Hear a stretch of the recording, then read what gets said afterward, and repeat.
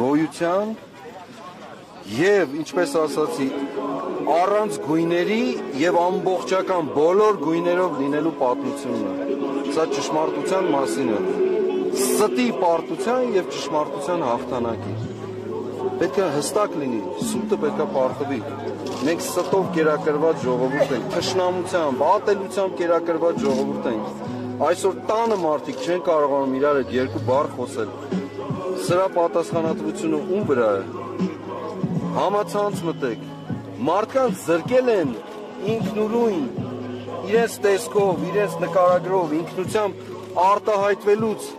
դարձել են կեղծ, զուտ գրող, փողով գրողներ։ Սա է իրականությունը։ Հիմա դա մեզ հարիր է, մեզ պետք է ոչ։ Հետևաբար ովքեր որևէ պիտակավորում անուն են տալիս այս մարդը, այն մարդը, այս կուսակցություն, այն կուս Եկեք դուք մասնակից եղեք, սիրելի ժողովուրդ։ Ձերն է սա, բոլորին անխտիր։ Ինձ համար ոչ մի գույնը տարբերություն չունի եւ բոլորը միասին նշանակություն ունի։ Եվ այս շարժման ամենահիմնական, հիմնական առանցքը դա է։ Եվ մենք ասել ենք, այս գործընթացը ապօրինի գործընթացը, հակաօրինական գործընթացը պետք է դադարեցվի։ դա, չի կարող լինել մեր կյանքի հաշվին իրենց տակուկ սենյակներում վճիրներ ու որոշումներ կայացնեն, չի կարող լինել այդպես բան։ Եվ դեռ 4 տարի առաջ եմ ասել սա։ 4 տարի առաջ, երբ անկլավ, մանկլավ պատմություն էին անել, այդ ժամանակ եմ ասել։ Նորից ասացին քաղաքականություն, քաղաքը ճիշտ ենք անում, եթե խառնվում են քաղաքականություն։ Դուք չեք կարողանում, դրա համար էլ մենք ենք խառնվում։ Եթե քաղաքականությունը դա մի առիթով հենց ձեզ եմ ասել դա։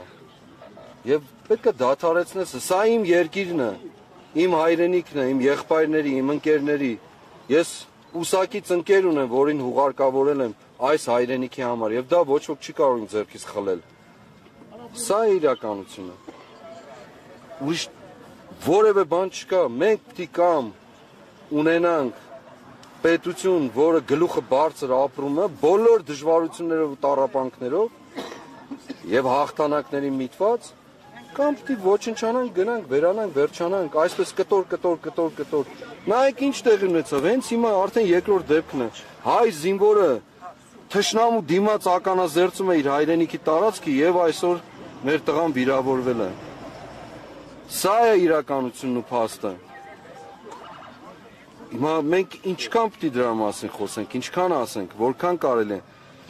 Եվ ամբարտավան, հպարտ, կեցվածքներով խոսում են, քարոզում են։ Հիմա ես չեմ ուզում պիտակավորել, որ իսկապես մի տարեք ինձ այդ դաշտը չեմ էլ ուզում։ Մեր սրտում միայն ելի եմ ասում։ Ճշմարտության մասինը հաշտության մեծ, լայն հասարակական օրակարգի մաս այլ նշեմ, որ նշեմ, որ սխալ չլինի։ Հաշտությունը չի ընդհանրում չարթարադատություն, հաշտությունը հենց երթանդրում է արդարադատություն եւ արդարություն չկա ճշմարտություն, չկա արդարություն, գոյություն չի ունենա հաշտություն։ Սա սուրբ գրային ուղիղ պատգան է, որովհետև երբ արդարությունն ու ճշմարտությունը համբուրվեցին, այդտեղ է եղբայրությունը, այդտեղ է հաշտությունը։ Եվ այդ պատճառով ենք մենք ասել, հոգին հաղթել է դուխին,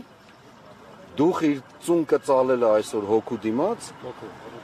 հոգու դիմաց։ Մարդիկ ոգի են փոխում եւ այն հոգու դիմաց, ոգու դիմաց, ինչպես կուզեք, բայց հոգին են բնորինակով հոգին է, իմ շրթունքներից է դուրս եկել դա։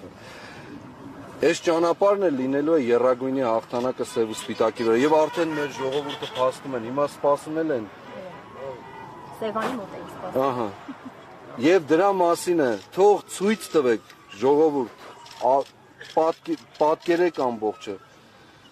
Մարդիկ ելի եմ կրկնելու, գալիս են առանց հրավերի, առանց պարտադրանքի, առանց որևէ մեկին համոզելու, առանց այսպես կոչված իրենց սիրած թեմաներով կաշառքի դեռ իրենք են բերում մի բան, ջուր են բերում, հաց են բերում։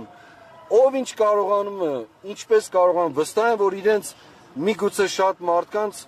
հենց մի քանի հազար դրամ, որ իրենց համար օրական կարևոր էր, գնում են, գնումներ են անում, բերում են, բաժանում են։ Այդ մի քանի հազար դրամ, որ կարող է հենց այդ օր իրեն շատ անհրաժեշտ էր, այսօր անհրաժեշտ էր, բայց իրենք նախընտրում են այս շարժման մասնակիցների հետ լինել նաև այդ ճանապարհով։ Սա է ամբողջ գեղեցկությունը։ Սփյուռքը եւս միացել է շարժմանը։ Երեք Տորոնտոյում մեծ հավաք էր եւ հոգեվոր առաջնորդներն էլ այնտեղ խոսեցին եւ քաղաքական ու հանրային տարբեր ներկայացուցիչներ աջակցեցին ձեզ։ Այս օրերին տարբեր թեմերից են աջակցություններ հնչել, տարբեր սփյուռքահայ կառույցներից։ Սփյուռքը ինչպես կարող է այստեղ իր ներդրումն ունենալ շարժման մեջ։ Ինչ որ անում են, շատ նախ ուզում եմ ողջունել մեր բոլոր եղբայրներին ու քույրերին։ Ես 10 տարի իրենց խնամքի ներքո ապրել եմ, 2 տարի էլ իմիջիալուս դա էլ ասեմ, 2 տարի բնակվել եմ Անգլիայում, 10 տարի բնակվել եմ Կանադայում եւ պարզվում է որ այդ ժամանակ էլ եմ եղել ռուսական ագենտ։ Ուրեմն փաստորեն փաստորեն Կրեմլից է ֆինանսավորել։ Կրեմլից ֆինանսավորել մեկ-մեկ էլ արխայական պալատն է ֆինանսավորել, որովհետև շքանշան են տվել Եղիսաբեթ II-ի շքանշան։ Սա էլ նրանց եմ ասում, շատ ժպիտով, ուրախ, հանգիստ։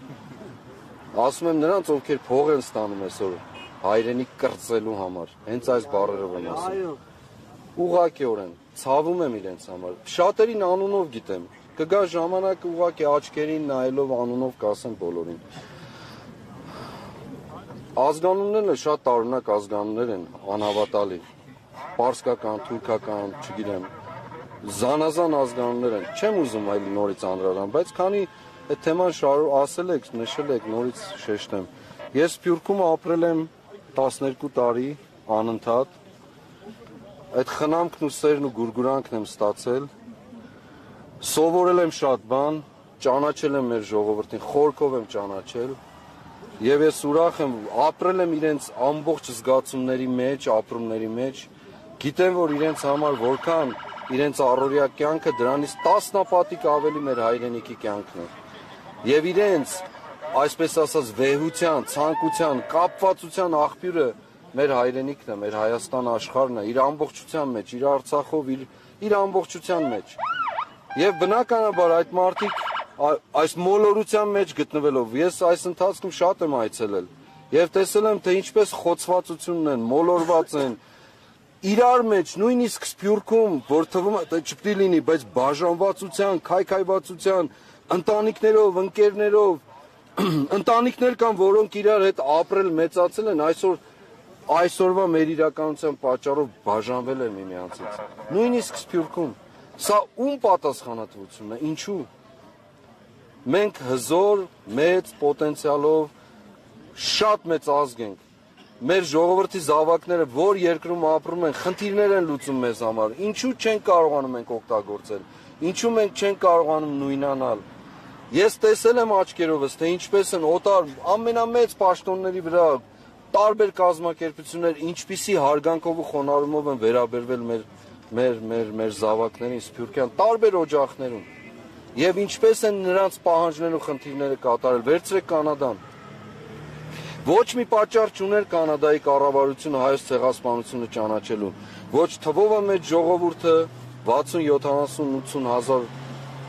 հայությունը ապրում, ոչ այսպես քաղաքականապես ներքին կանադական կյանքի մեծապես ներգրաված են, ոչ քվեների խնդիր կա, ոչ նյութական խնդիր կա, իսկապես։ Բայց ինչպես են կարողացել հաջողացնել համոզել այդ խոշոր տերության պարլամենտին եւ ղեկավարության ճանաչել հայոց ցեղասպանությունը։ Սա ուժի մասին չի խոսում։ Դրա մասին չի։ Բա այդ ուժը մենք ունենք, ինչու ենք այսքան խեղճ։ Ինչու ենք այսքան մոլորված։ Ինչու են անընդհատ մեզ մեր իշխանավորները ներշնչում, որ մենք անզոր ենք։ Ինչու են ներշնչում, որ մենք տկար ենք։ Մենք ենք տկար, թե իրենք։ Ինչու են մեզ անընդհատ պատերազմներով վախեցնում։ Բա իրենց պարտականությունն ի՞նչ է։ Ո՞վ է այդ պատերազմի կրողն էլ, ստանձնողն էլ, հաղթողն էլ։ Դեռ պարտվելու մասին չեմ ասում, որովհետև մեր մտքում չկա այդպիսի բան։ Ո՞վ։ Պար ժողովուրդը։ Եվ սա է ֆունդամենտալ արմատական հարցը սա։ Արմատական հարցը, որի լուծումները չեն տրված։ Ցակ ու ծրիվ, կտոր կտոր, կենցաղային մակարդակով խոսակցություններ,